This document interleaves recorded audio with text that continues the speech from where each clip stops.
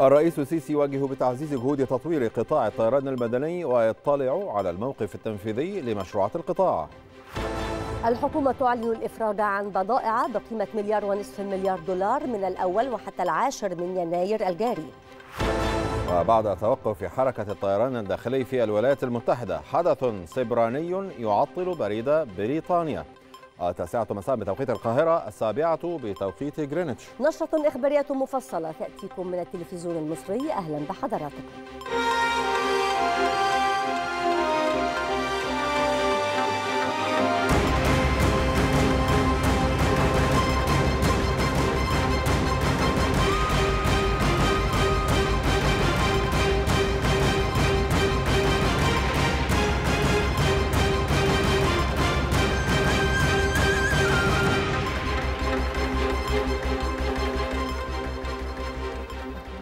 وجه الرئيس عبد الفتاح السيسي بتعزيز جهود تطوير قطاع الطيران المدني ذلك في الإطار العام لحسن إدارة موارد وإمكانات الدولة واستثمار الحد الأقصى الاقتصادي من عوائدها. جاء ذلك خلال الاجتماع الذي عقده الرئيس السيسي للاطلاع على خطة الأنشطة المستقبلية لوزارة الطيران فضلا عن المواقف التنفيذية الخاصة بها بعدد من المشروعات الجارية.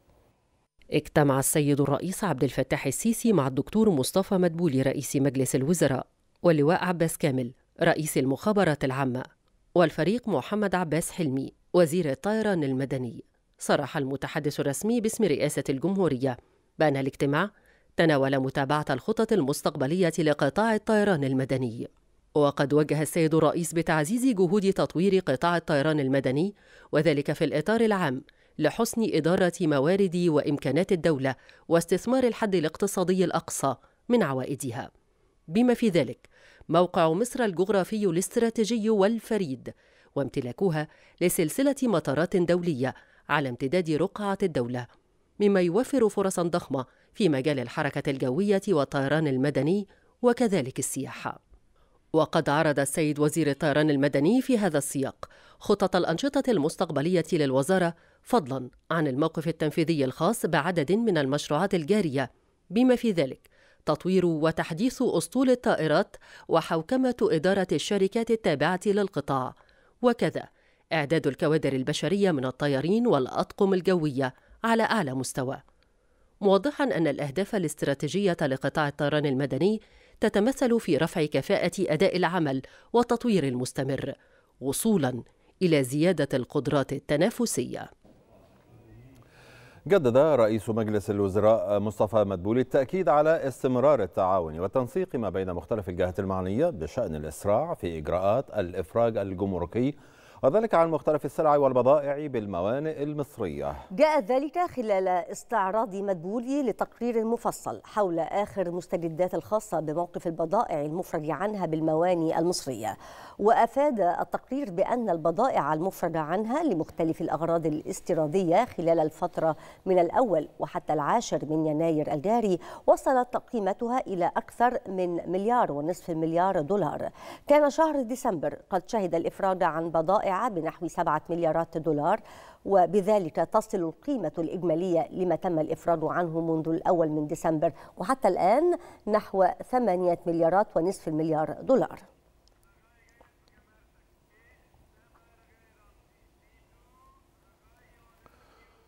عقد رئيس مجلس الوزراء مصطفى مدبولي اجتماعا لاستعراض ملامح المبادرة الجديدة وذلك لدعم القطاعات الإنتاجية الصناعة والزراعة.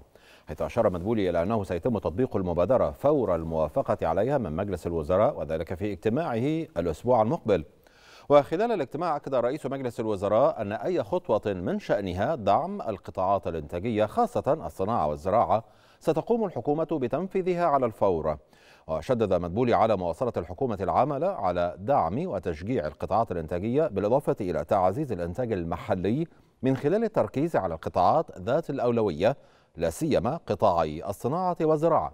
وذلك من أجل تحقيق المستهدفات التنموية والاقتصادية للدولة وزيادة القدرات على مواجهة تداعيات الأزمات العالمية.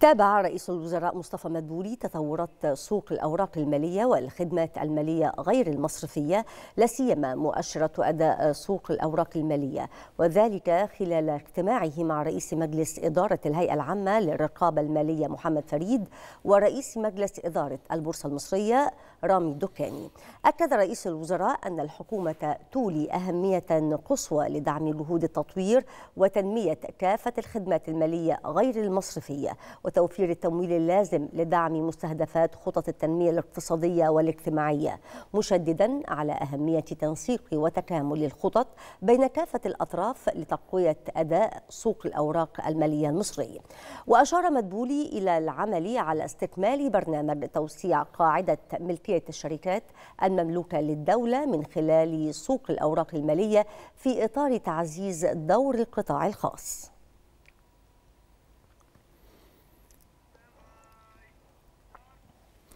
وجه رئيس مجلس الوزراء مصطفى مدبولي بإنشاء خط ساخن لتلقي أي شكاوى وذلك ضد من يتعسف في استخدام سلطة الضبطية القضائية.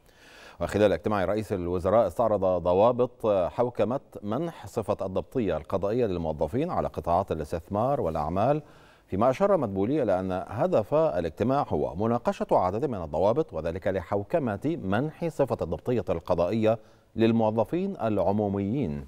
يأتي ذلك لمنع حدوث أي تجاوزات أو تعنت من قبل القائمين على تطبيقها بقطاع الاستثمار والأعمال.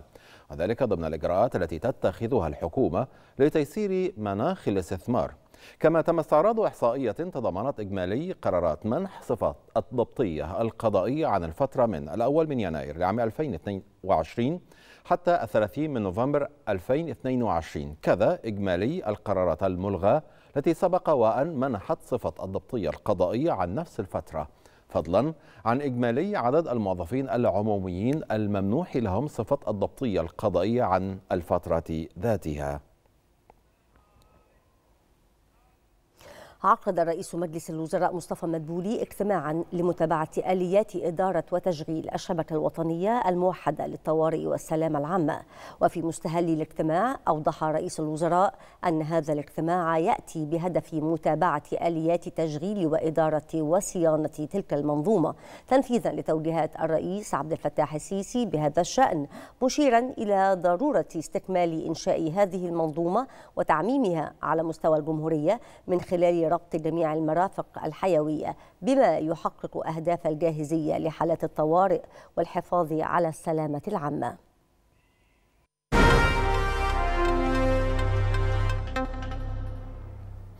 تواصل وزارة الداخلية حملاتها اليومية وذلك لمتابعة أسعار السلع الاستراتيجية وضبط قضايا حجب السلع والبيع بأسعار أزيد من السعر الرسمي.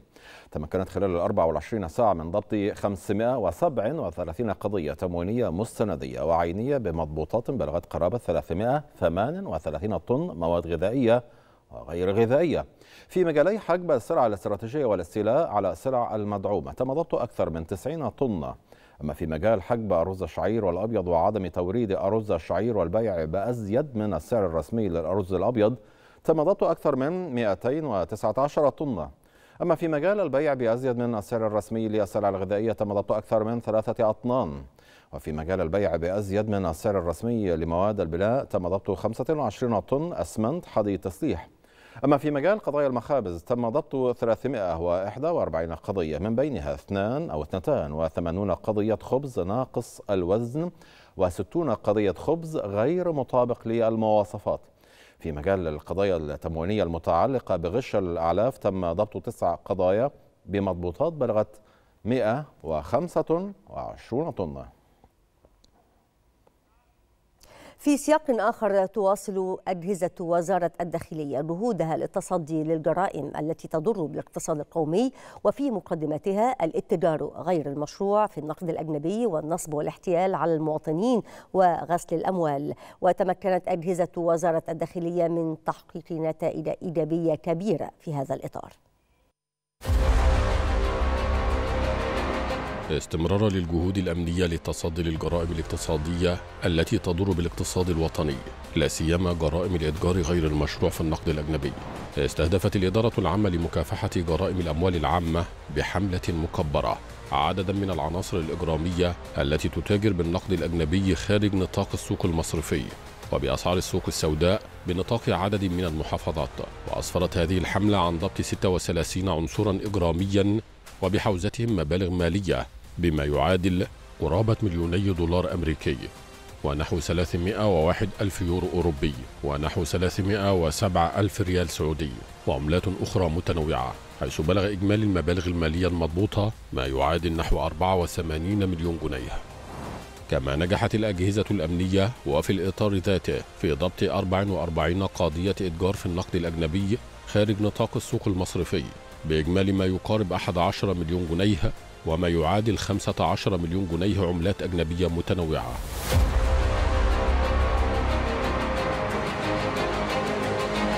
كما تمكنت الأجهزة الأمنية من ضبط تشكيل عصابي بأسيوط تخصص عناصره في الإتجار بالنقد الأجنبي خارج نطاق السوق المصرفي عن طريق تجميع مدخرات المصريين العاملين بالخارج وإرسالها لذويهم داخل البلاد بطرق غير مشروعة.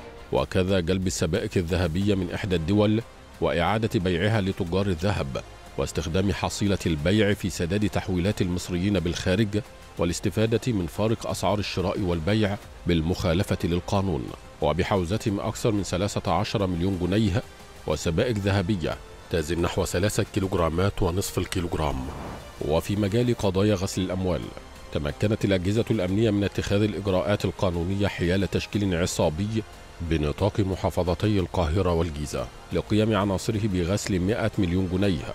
حصيلة نشاطهم الإجرامي في النصب والاحتيال على المواطنين والاستيلاء على أموالهم بزعم توظيفها لهم في مجال التنقيب عن البترول. مقابل أرباح شهرية امتنعوا عن سدادها. ورفضوا رد أصول المبالغ المستولى عليها. عن طريق قيامهم بتأسيس أنشطة تجارية بتلك الأموال وشراء عقارات وسيارات وإيداع جزء من تلك الأموال بالبنوك بقصد إخفاء مصدرها وإظهارها وكأنها ناتجة عن كيانات مشروعة خلافا للحقيقة.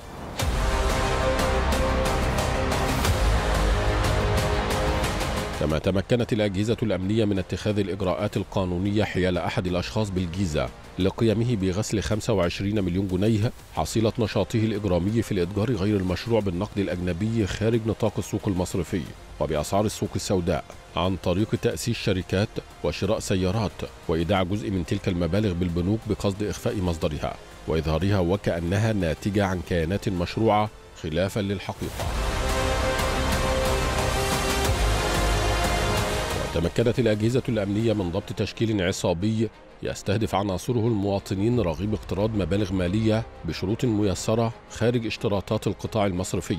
ومنحهم تلك القروض بموجب تطبيقات إلكترونية تم إنشاؤها خارج البلاد وعقب تحميلها على هواتف المقترضين يتم سحب بياناتهم الشخصية واستغلالها في تهديدهم لإجبارهم على السداد. وقد تم استخدام التقنيات الحديثة في التتبع والرصد الدقيق لخطوط سير عناصر التشكيل الذين يقومون باستئجار مقرات مؤقتة في أماكن مختلفة ليصعب رصدهم إلى أن تمكنت من ضبطهم وتم ضبط مبالغ مالية بحوزتهم وأجهزة تمرير اتصالات دولية وتسعين جهاز حاسب آلي ومئة هاتف محمول وخمسين جهاز تابلت وبطاقات ائتمانية وخطوط محمول وكذا تم ضبط ثلاث سيارات.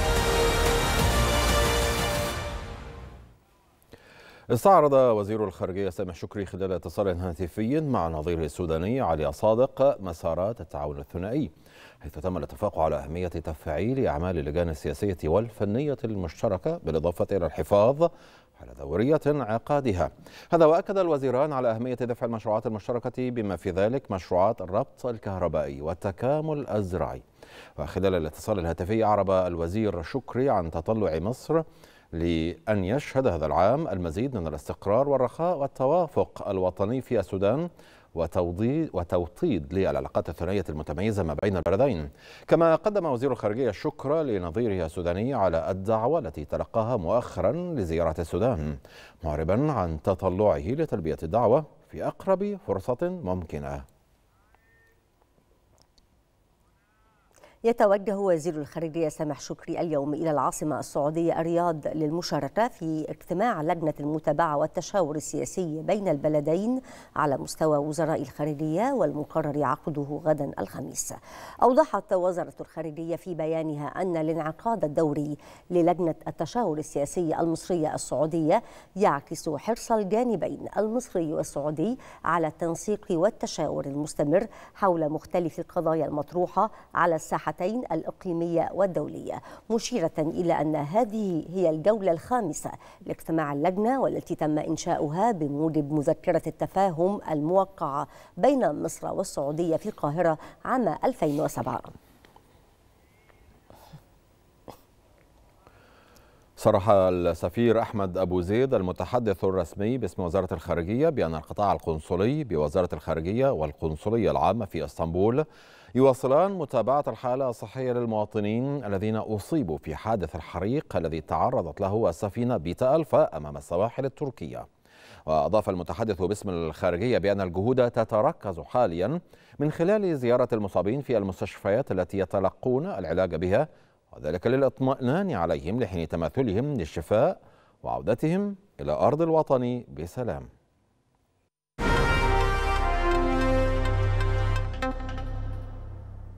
أعلنت هيئة خدمات البريد الملكي في بريطانيا أنها تواجه اضطرابا شديدا في خدمات الإرسال إلى الخارج بسبب ما قالت إنه حدث سبراني. ولم توضح البريد البريطانية ماهية الحدث السبراني أو ما إذا كان هجوما داعية عملائها إلى أن يمتنعوا عن إرسال الأغراض إلى البريد في الوقت الراهن مشيرة إلى أنها تعمل على حل المشكلة. في المقابل أكد البريد البريطاني أن عمليات استيراد الشحنات القادمة من الخارج تعمل بشكل منتظم مع تأخيرات محدودة. جاء ذلك بعد ساعات من تعطل حركة الملاحة الجوية في الولايات المتحدة بسبب عطل فني. أعلنت هيئة الطيران المدني الأمريكي إلغاء تعليق الرحلات الداخلية في الولايات المتحدة والذي أعلق أو أعلن في وقت سابق اليوم وذلك بسبب عطل تقني لم يحدد مصدره بعد. كانت هيئة الطيران المدني الأمريكي أمرت بتعليق كل الرحلات الداخلية المغادرة في الولايات المتحدة حتى الساعة الثانية ظهرا بتوقيت غرينتش لإصلاح عطل طرأ على أنظمتها والتأكد من سلامة معلومات الطيران ومعايير الأمان.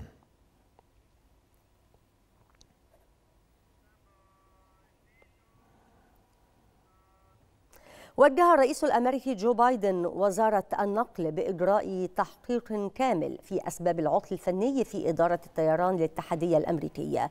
وأعلن البيت الأبيض أن بايدن على دراية بالعطل الفني في نظام إدارة الطيران الاتحادي ولا دليل على أن السبب هو هجوم إلكتروني. وكانت إدارة الطيران الاتحادية الأمريكية قد طلبت من شركات الطيران وقف كل رحلات السفر الداخلية حتى يتسنى لها إصلاح عطل فني في إدارة الطيران الاتحادية الأمريكية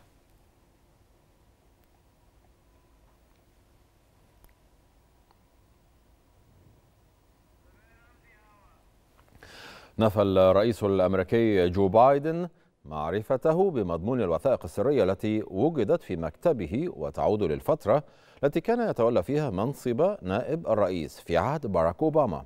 من جانبه أعلن وزير العدل الأمريكي ماريك غارلاند أعلن أنه أمر بمراجعة تلك الوثائق.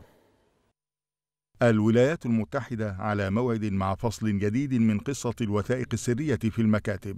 والبطل هذه المرة هو الرئيس الأمريكي جو بايدن حيث تفيد المعلومات بأنه تم العثور على وثائق سرية في أحد المكاتب التي كان بايدن يشغلها إبان تبوئه منصب نائب الرئيس باراك أوباما. بايدن الذي لم يتخلى عن هذه الوثائق بالرغم من أن القانون ينص على ضرورة فعل ذلك أعلن أنه لا علم له بمحتوى الوثائق السرية التي عثر عليها في مركز أبحاث بواشنطن كان أحيانا يعمل فيه. وعلى هامش قمة أمريكية كندية مكسيكية عقدت في مكسيكو قال بايدن إن محاميه سيتعاونون بالكامل خلال فحص هذه الوثائق معربا عن أمله في أن تنتهي عملية الفحص هذه قريبا. عندما عملت لمدة أربع سنوات بعد أن أصبحت نائبا للرئيس كنت أستاذا في جامعة بنسلفانيا. وجدوا بعض المستندات في صندوق في خزانة مقفلة وبمجرد أن فعلوا ذلك أدركوا أن هناك العديد من المستندات السرية الموجودة في هذا المربع وقد فعلوا ما كان ينبغي عليهم فعله. اتصلوا على الفور بالمحفوظات وسلموها وقد تم إعلامي بهذا الاكتشاف لكنني لا أعرف ما هو موجود في المستندات. ومع إعلان وزير العدل الأمريكي ميريك جارلاند أنه أمر بمراجعة الوثائق تساءل الرئيس الأمريكي السابق دونالد ترامب ما إذا كان مكتب التحقيقات الفيدرالي سيتعامل مع بايدن كما تعامل معه. وهذا ما يؤكد أن القضية تشكل مادة مهمة للجمهوريين في ظل رئاسة كيفن ماكارثي لمجلس النواب وإجماع المراقبين على أن معركة انتخابات 2024 بدأت من الآن. كشفت وكالة بلومبرج الأمريكية عن مطالبة الجمهوريين بمجلس النواب الأمريكي وزارة الخزانة بتقديم كشف عن حسابات نجل الرئيس الأمريكي جو بايدن داخليا وخارجيا. أضافت الوكالة الأمريكية أن الجمهوريين يتحركون بسرعة في التحقيقات التي وعدوا بها منذ فترة طويلة بشأن هانتر نجل الرئيس جو بايدن. ويدعو الجمهوريون لكشف أي تقارير تستخدمها البنوك للإبلاغ عما تعتبره معاملات كبيرة بشكل مثير للريبة تتعلق بهانتر بايدن وأفراد آخرين من عائلة بايدن كما يريدون أيضا من المديرين التنفيذيين السابقين في موقع تويتر الإدلاء بشهاداتهم والإجابة على أسئلة متعلقة بعائلة بايدن.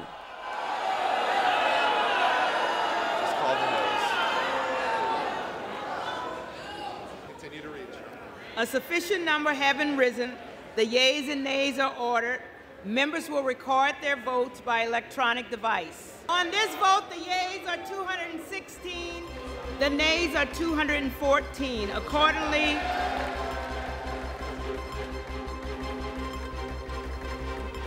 جولتنا الإخبارية مشاهدينا لا تزال مستمرة وتتابعون فيها زيلينسكي يشدد على أن روسيا تحاول التظاهر بسيطرتها على أجزاء من سوليدار ويؤكد أن القتال مستمر في البلدة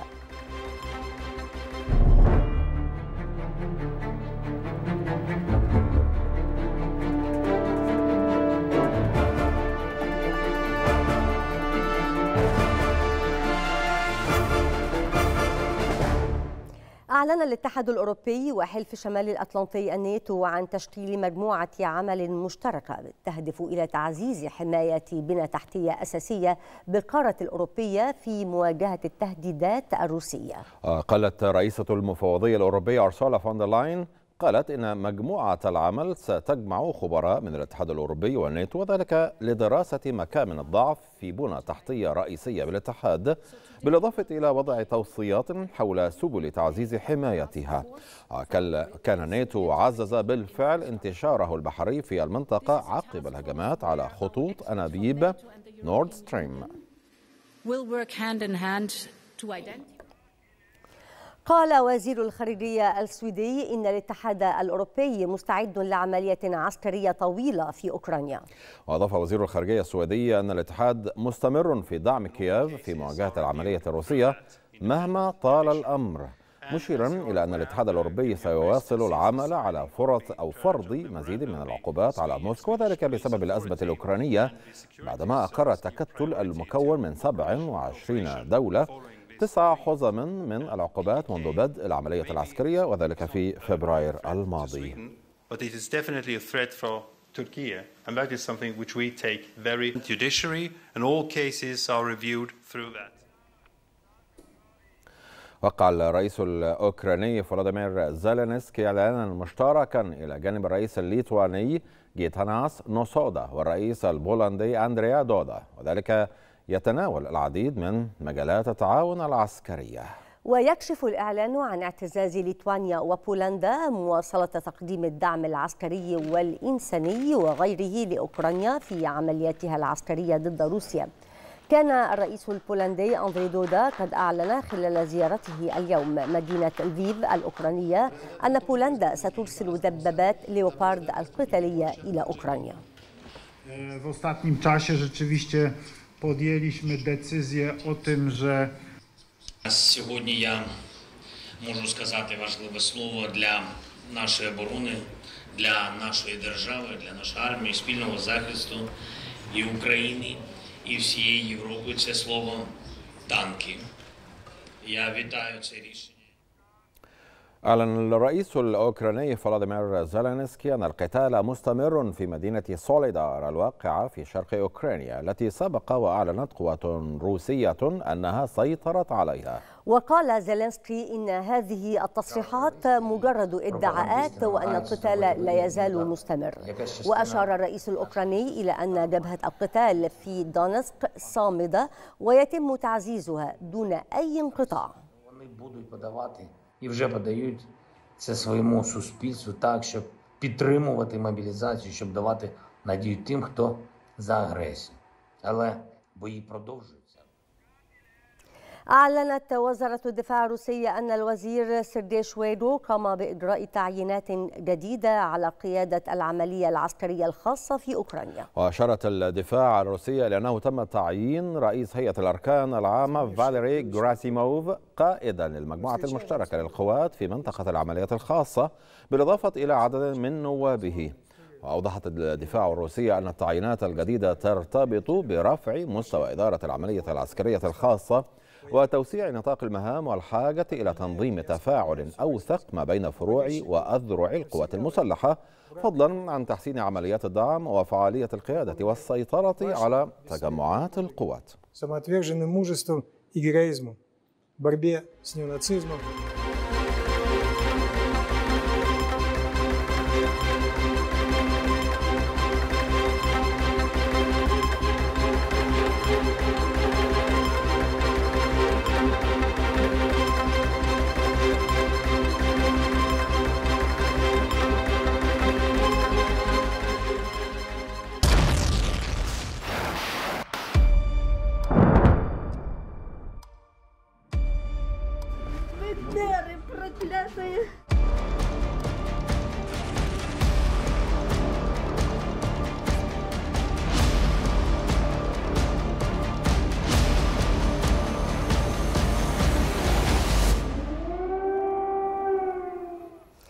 أكد نائب رئيس الوزراء الروسي ألكسندر نوفاك إنه لم يواجه أي صعوبات في تأمين صفقات التصدير للنفط الروسي على الرغم من العقوبات الغربية على موسكو. جاء ذلك خلال اجتماع وزاري بقيادة الرئيس الروسي فلاديمير بوتين وأظهر إنتاج النفط الروسي حتى الآن مرونة في مواجهة العقوبات والتي فرضت بعد انطلاق العملية العسكرية الروسية في أوكرانيا. وكذلك في مواجهة الحدود القصوى للأسعار التي فرضتها الدول الغربية الشهر الماضي ووقع بوتين الشهر الماضي مرسوما يحظر توريد النفط الخام والمنتجات النفطية اعتبارا من الأول من فبراير ولمدة خمسة أشهر للدول التي تلتزم بهذا الحد الأقصى Всего хорошего. Спасибо большое. Потом мне свои предложения, пожалуйста. حذر البنك الدولي من أن الاقتصاد العالمي سيقترب وبشكل خطير من الركود خلال العام الجاري مدفوعا بضعف النمو في جميع الاقتصادات الكبرى في العالم والولايات المتحدة بالإضافة إلى أوروبا والصين. وقال البنك في تقرير سنوي له إنه خفض توقعاته للنمو الاقتصادي العالمي هذا العام بنحو النصف. ليصل إلى 1.7% فقط مقارنة مع توقعاته السابقة والبالغة 3% بسبب استمرار التضخم وارتفاع أسعار الفائدة وتأثيرات الحرب في أوكرانيا. هذا وثبتت دقة هذه التوقعات فسيكون هذا النمو الاقتصادي السنوي الأضعف الثالث في ثلاثة عقود وذلك بعد الركود الشديد الذي نتج عن الأزمة المالية العالمية لعام 2008 والركود الناجم عن جائحة فيروس كورونا للعام 2020 دعا تقرير لمنتدى الاقتصاد العالمي عن المخاطر العالمية للعام الحالي إلى اتخاذ إجراءات تعاون عالمية عاجلة بهدف مواجهة تبعات الأوضاع السياسية والاقتصادية الحالية. التقرير الذي نشر قبل خمسة أيام من انطلاق الاجتماع السنوي للمنتدى في مدينة دافوس قال إن أزمة تكلفة المعيشة الناجمة عن التضخم تشكل الخطر العالمي الأول خلال العامين المقبلين.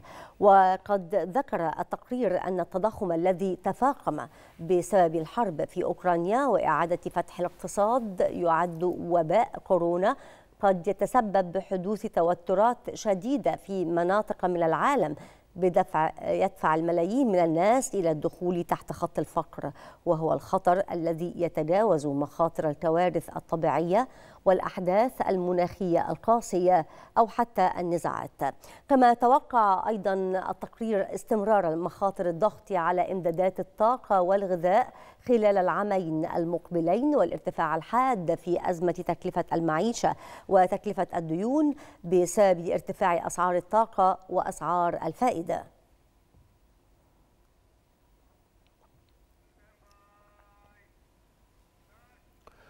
اقترحت الحكومة الفرنسية رفع سن التقاعد القانونية إلى 64 عاما وذلك بحلول 2030 بدلا من 62 حاليا. وصرح الأمين العام لاتحاد النقابات العمالية لوران بيرجي عن أمله في حشد قوي لكي تتراجع الحكومة.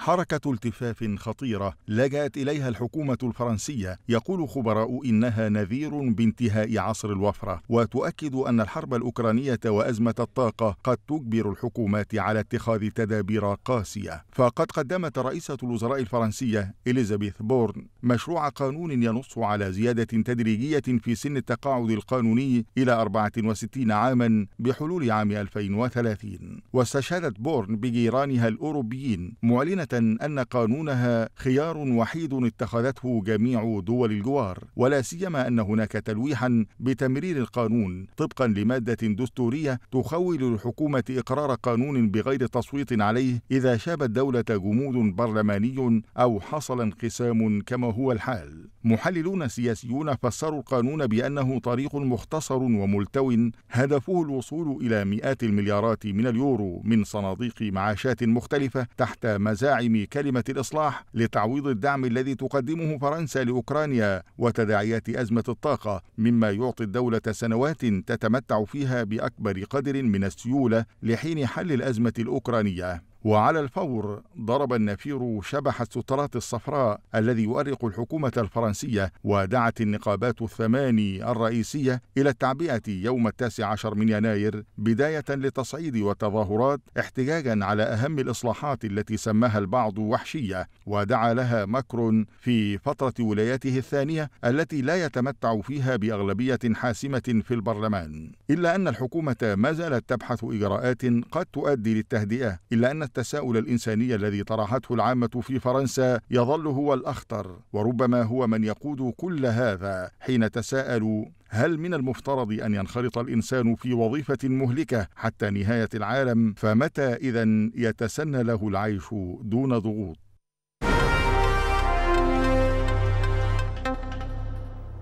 أطلق المكتب الإقليمي لمنظمة الصحة العالمية لشرق المتوسط رسميا الاستراتيجية الإقليمية للتخلص من سرطان عنق الرحم لشرق المتوسط وذلك في مؤتمر صحفي مختلط. استضافته قادة استضافت فيه قادة المنظمة وانضمت إليه نساء ناديات من سرطان عنق الرحم فضلا عن عدد من المناصرات اللواتي يحاربن المرض بالإضافة إلى متحدثين رفيع المستوى. تستند الاستراتيجية الإقليمية للتخلص من سرطان عنق الرحم للشرق المتوسط إلى الاستراتيجية العالمية لتسريع وتيرة التخلص من سرطان عنق الرحم بوصفه إحدى مشكلات الصحة العامة والتي اعتمدتها الدول الأعضاء في المنظمة عام 2020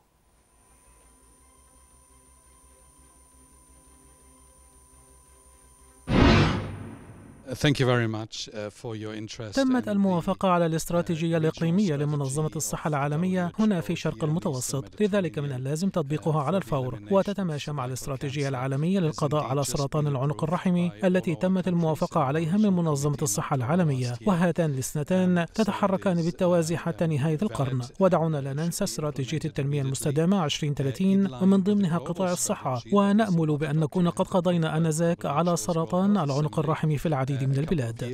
الهدف الأساسي من الاستراتيجية هي الاستراتيجية الإقليمية لمكافحة سرطان عنق الرحم عند المرأة آه اللي هو نحن اليوم استفدنا يعني أو استغلينا فرصة أنه شهر يناير هو شهر العالمي لمكافحة سرطان عنق الرحم أو cervical cancer آه لإطلاق آه هذه الاستراتيجية الإقليمية اللي هي already تعرضت باللجنة الإقليمية الاجتماع اللي صار عندنا بأكتوبر وكل الدول دعمتها ووافقت عليها. وهيدا الشيء بيسهل بالنسبة لنا بيسهل إدخال هذه الاستراتيجية في الدول اللي عندنا الدول الأعضاء. لو اكتشفتي واتكلمتي هتساعدي ستات كتير جدا إن هم كمان يعرفوا مشاركة التجربة هتخليكي هتخلي أختك بنت خالتك بنت عمتك كلهم يفهموا الوضع أكتر ويروحوا يعملوا مسحة عنق الرحم وكمان يسألوا على التطعيم أكيد. وإلى محافظة أسوان حيث انطلقت اليوم القافلة العلاجية بوحدة طب أسرة قرية الجعافرة التي ضمت سبعه تخصصات مختلفة بالإضافة للصيدلية التي تواجد بها أكثر من 100 صنف من العلاج. وشهدت القافلة توقيع الكشف الطبي على المئات من المواطنين حيث تم تقديم العلاج بالمجان وتحويل عدد من المترددين للمستشفيات التابعة لوزارة الصحة لإجراء العمليات الجراحية وعمل أشعة رنين مغناطيسي ومقطعية هذا وقد بدأت القافلة أعمالها من يوم الاثنين الماضي بمنطقة خور عواضة وأمس بقرية الأعقاب في إطار التعاون ما بين مديرية الصحة بأسوان وجمعية الهلال الأحمر. نحن هنا متواجدون بوحدة طب أسرة الجعفرة لنستقبل القافلة الطبية بالتعاون مع جمعية الهلال الأحمر وبها تخصصات أطفال وبطنة وأنف وأذن ونساء وعظام وجلدية ورمد بالإضافة طبعا إلى الصيدلية التي يتوافر بها أكثر من 100 صنف من العلاج المجاني. إحنا جايين هنا في القافلة عشان بنقدم للناس دعم نفسي وبنعرفهم بالخدمة بتاعتنا وبنعرفهم كمان برقم الغرفة بتاعت الدعم النفسي. بنقدم أنشطة للأطفال الصغيرين بيبقى معايا ميسر بيساعدني في ده. بقدم لهم زي توعية عن الموضوعات معينة زي مثلا الضغوطات النفسية تربية إيجابية للأطفال رعاية ذاتية إزاي نهتم بنفسنا. معظم الحالات اللي بتقابلنا حالات المية البيضاء بنشوفها كتير جدا هنا في أسوان بالذات بين النساء الفيميلز حالات تانية طبعا محتاجة نظارات كتيرة جدا حالات الانفكشن كتيرة جدا. عرفت النهارده في قافلة طبية في قرية الجعفرة فقلت انتهز الفرصة وجيت تم الكشف العيون ما شاء الله الدكاترة شغالين كويس كشف مجاني العلاج مجاني.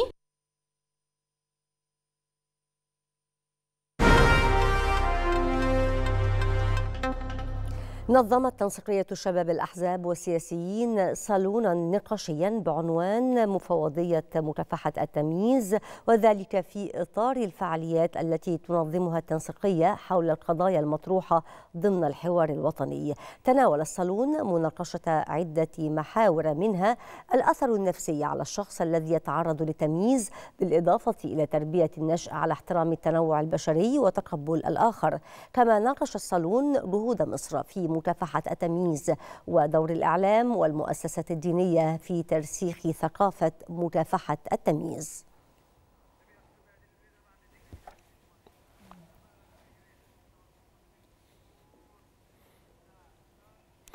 وزعت مؤسسة مصر الخير. أحد كيانات التحالف الوطني للعمل الأهلي التنموي وزعت نحو 5386 من الوجبات الساخنة بعدد من محافظات الجمهورية. يأتي ذلك في إطار حملة شتاء دافئ للتحالف الوطني للعمل الأهلي التنموي وذلك في عدد من المحافظات.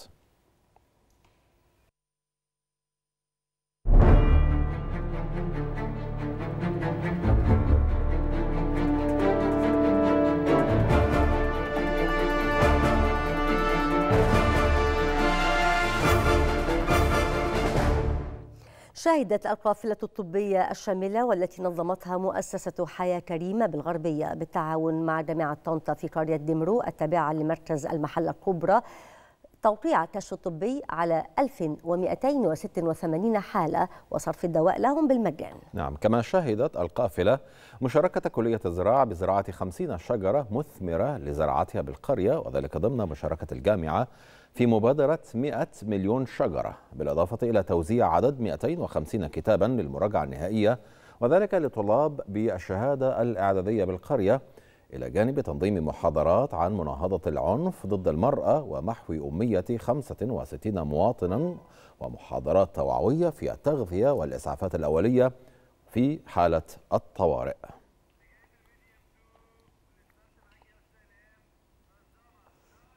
نظمت مديرية الصحة بدمياط قافلة طبية في عزبة حماد التابعة لمركز كفر البطيخ ضمن المبادرة الرئاسية حياة كريمة. وتهدف القافلة إلى تقديم أفضل الخدمات الطبية للمواطنين حيث تضمنت عيادات متنقلة بكافة التخصصات الطبية ومعملا وصيدلية وجهاز أشعة تم صرف الأدوية بالمجان وسط إجراءات وقائية واحترازية لمواجهة فيروس كورونا.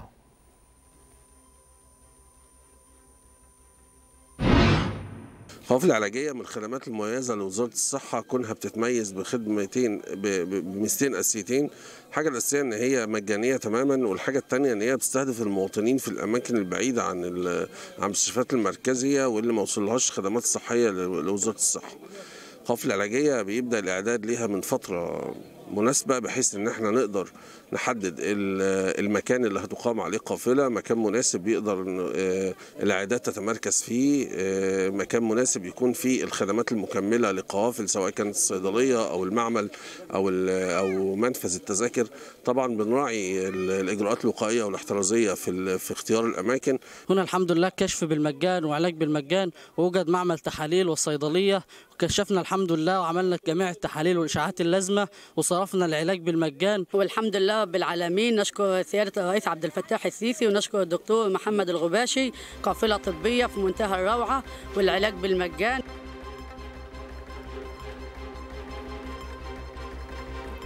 والآن متابعة لأهم الأخبار الاقتصادية. نعم إلى وقفتنا وتنضم إلينا فيها الزميلة فاطمة خليل. أهلا بك فاطمة. أهلا بك رجاء رمزي وأهلا بك إلهام نمر وأهلا بكم مشاهدينا وجولة اقتصادية جديدة.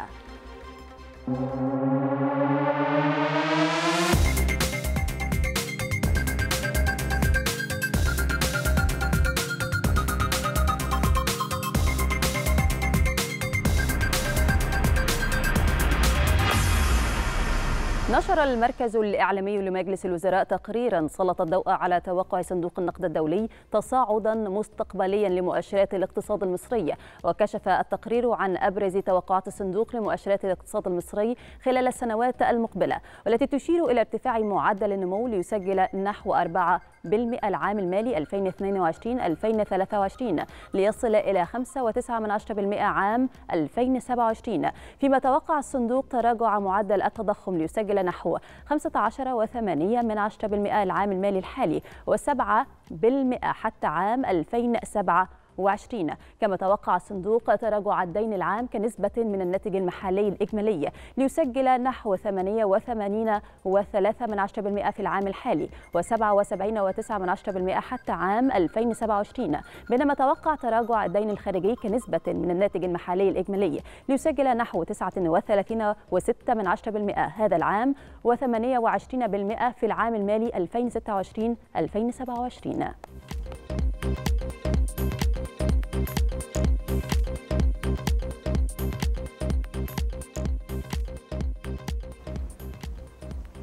أعلنت وزارة الزراعة أنه تم الإفراج عن مستلزمات الأعلاف خلال الأسبوع الأول من شهر يناير الجاري. تم الإفراج عن 150 ألف طن من الذرة وفول الصويا بحوالي 72 مليون دولار وأضافت الوزارة أن الإفراج شمل 113 ألف طن من الذرة بحوالي 41 مليون دولار وحوالي 37 ألف طن من فول الصويا بقيمة حوالي 28 مليون دولار. وأيضا أضافت أعلاف بحوالي ثلاثة ملايين دولار. وفي السياق المتصل تواصل لجان مشكلة من وزارات الزراعة والتموين والداخلية والجهات الرقابية حملات التفتيش على مخازن ومصانع الأعلاف والمستوردين للتأكد من عدم بيع مستلزمات الأعلاف في السوق السوداء.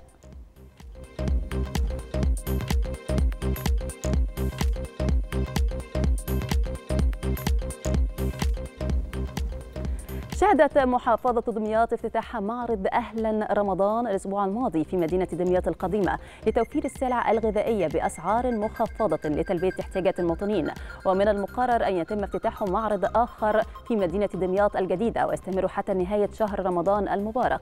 يضم معرض مدينة دمياط القديمة 15 قسما بتخفيضات تصل من 20 إلى 30% يأتي في إطار المساهمة المجتمعية للغرفة التجارية للتخفيف عن كاهل أبناء محافظة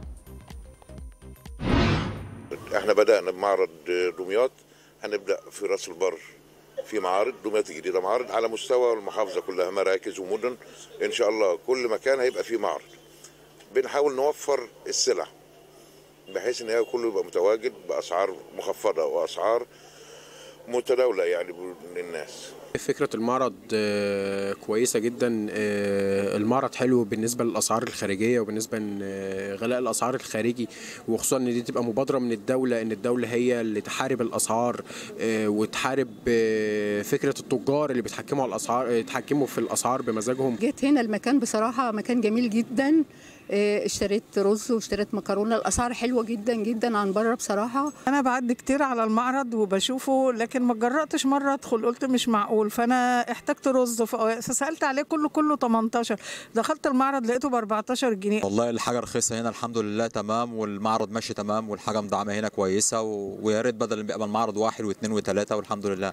والحاجة أرخص من بره بكتير كمان. وأنا معدي تلاقيت المعرض ما شاء الله دخلت المعرض آه، تلاقيت فيه حاجات كتير حلوة.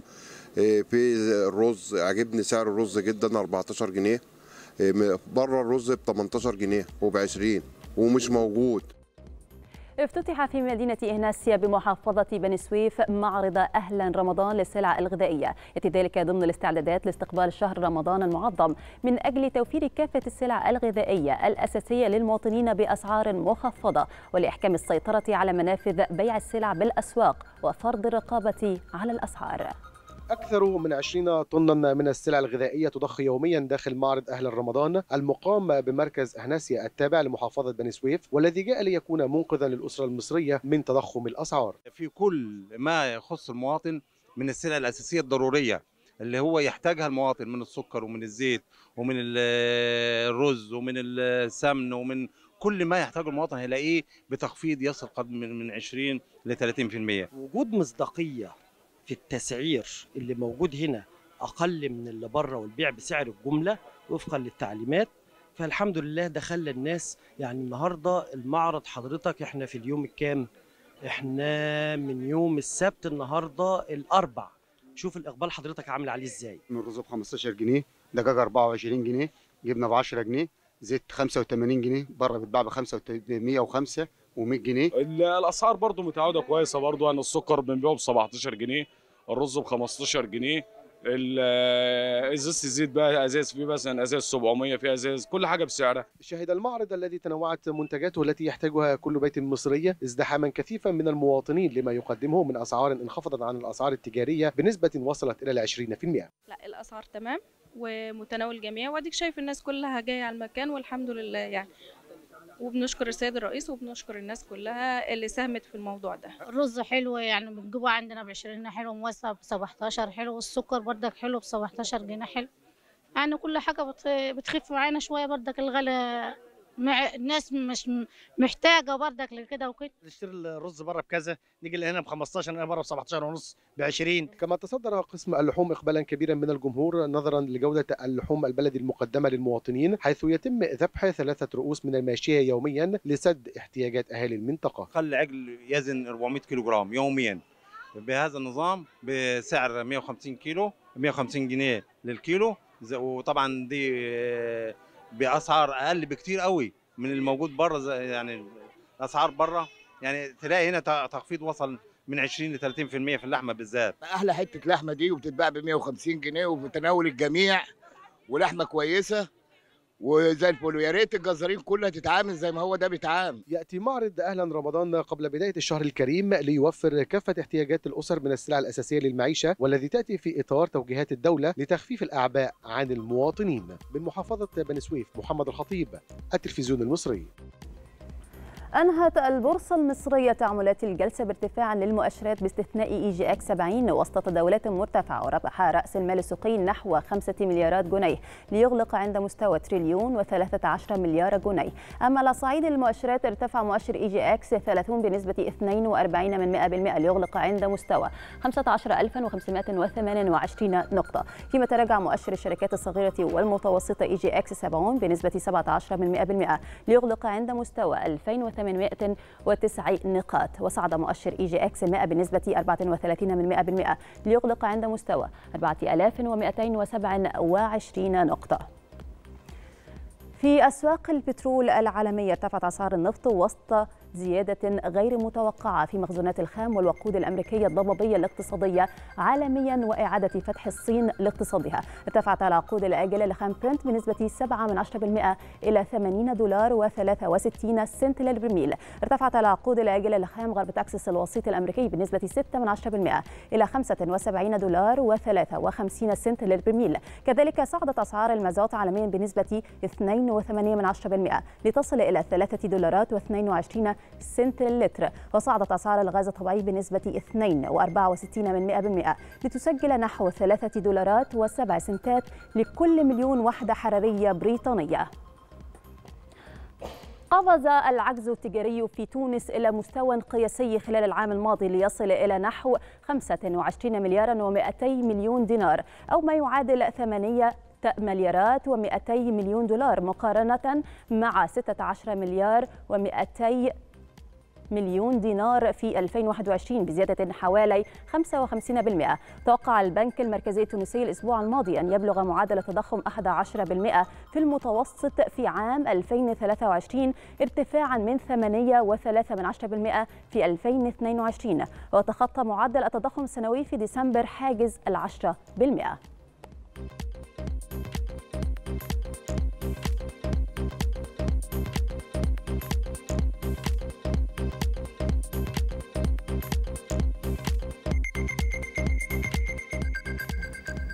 مشاهدينا نهاية هذه الجولة الاقتصادية عودة مرة أخرى لإلهام ورجائي لاستكمال ما تبقى من التاسعة. شكرا لك فاطمة.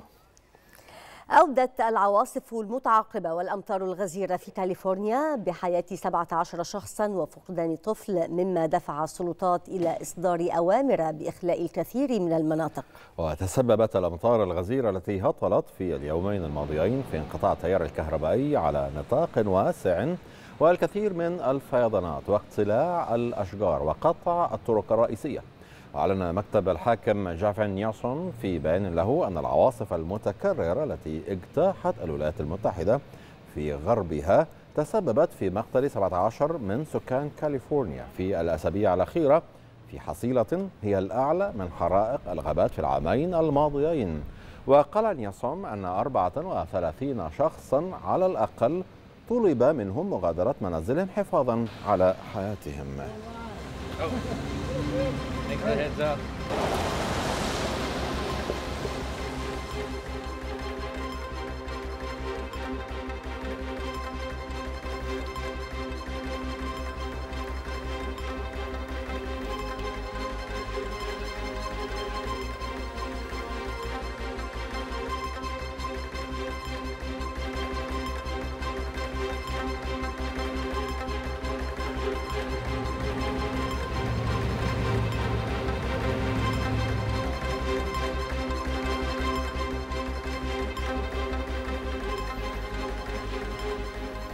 Up. المشاهدين نتحول بكم إلى آخر أخبار الرياضة والكرة والملاعب. مرة ثانية إلى فاطمة خليل. تفضلي فاطمة. شكرا إلهام شكرا رجائي وأهلا بكم مجددا مشاهدينا وجولة رياضية جديدة.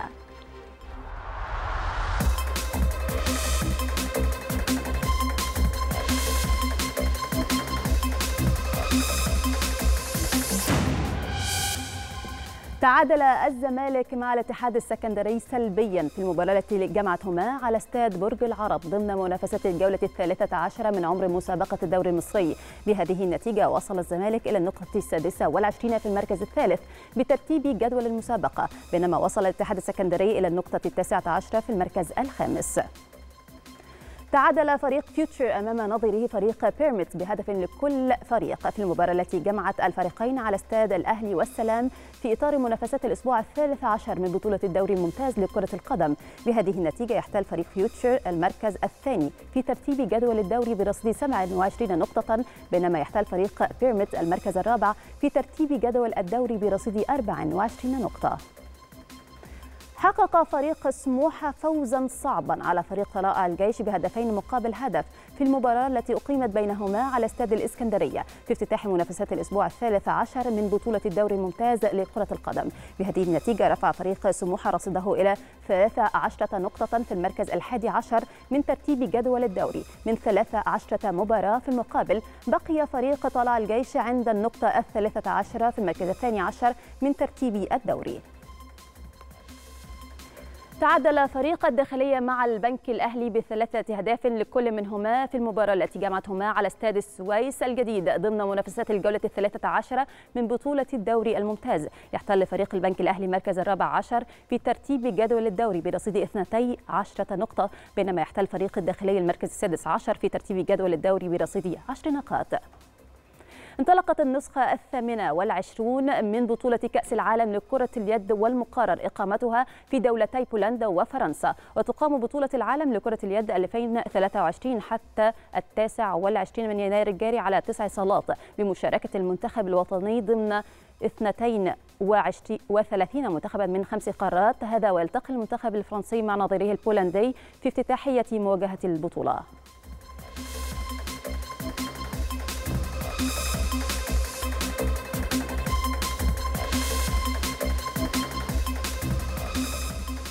تقام غدا الجولة الثالثة من منافسات المجموعة الأولى في بطولة كأس الخليج العربي خليج 25 يحتضن استاد البصرة الدولي مباراة المنتخبين العراقي واليمني بينما يقام في استاد الميناء في مدينة البصرة مواجهة من العيار الثقيل وذلك حين يستضيف مباراة المنتخب السعودي ضد المنتخب العماني. يتصدر منتخب العراق ترتيب فرق المجموعة الأولى في خليج 25 برصيد أربع نقاط متفوقا بفارق الأهداف عن منتخب عمان الوصيف فيما يحتل المنتخب السعودي المركز الثالث برصيد ثلاث نقاط ويتدين المنتخب اليمن ترتيب فرق المجموعة بدون رصيد.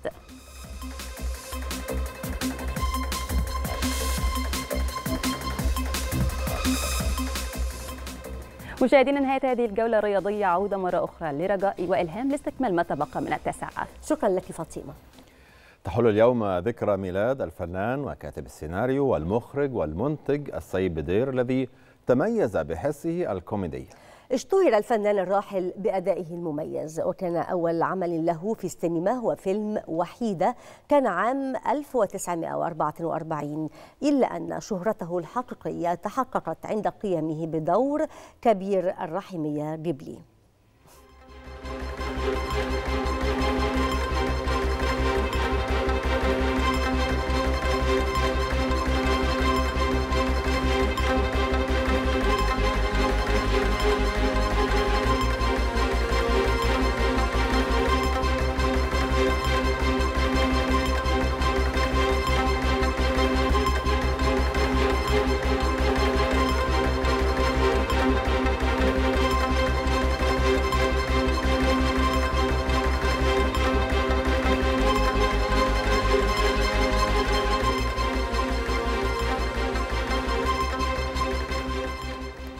والآن متابعة لأخبار الطقس والأحوال الجوية. نعم مرة أخيرة زميلة فاطمة خليل إليك يا فاطمة. شكرا رجاء رمزي شكرا إلهام نمر وأهلا بكم مجددا وأخيرا مشاهدينا ووقفة أخيرة مع أحوال الطقس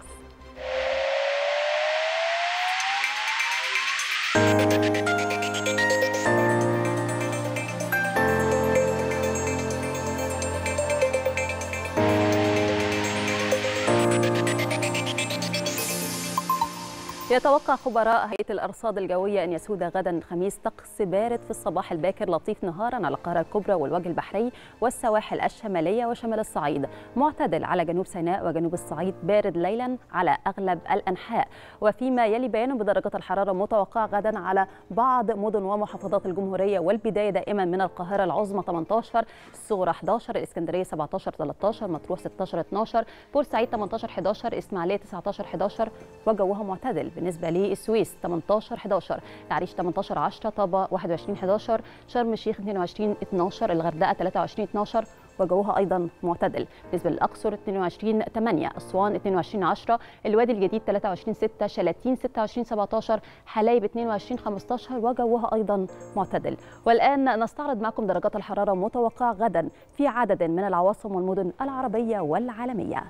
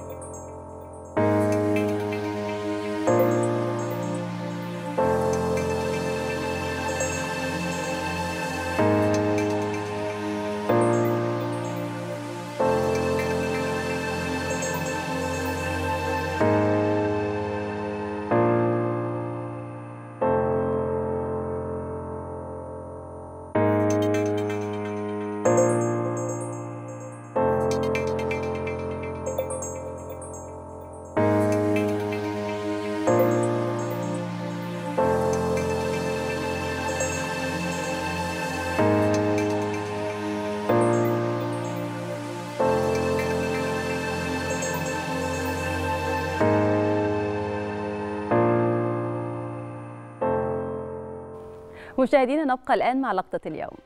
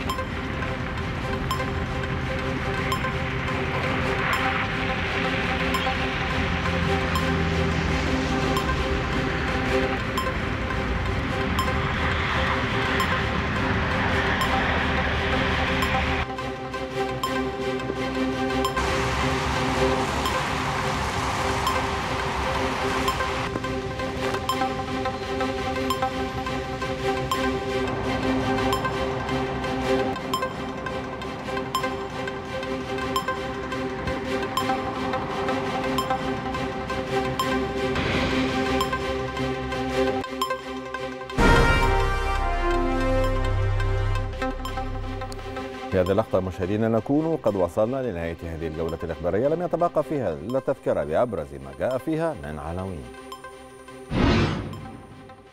الرئيس السيسي يوجه بتعزيز جهود تطوير قطاع الطيران المدني ويطلع على الموقف التنفيذي لمشروعات القطاع الحالية.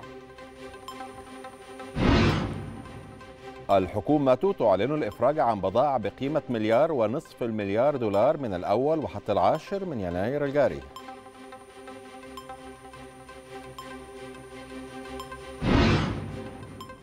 بعد توقف حركة الطيران الداخلي في الولايات المتحدة حدث سبراني يعطل بريد بريطانيا.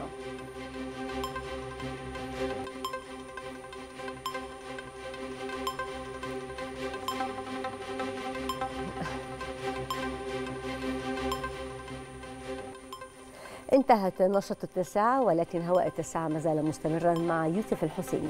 مساء الخير يوسف. مساء النور أشكركم جدا وأستأذنكم نبدأ فقراتنا.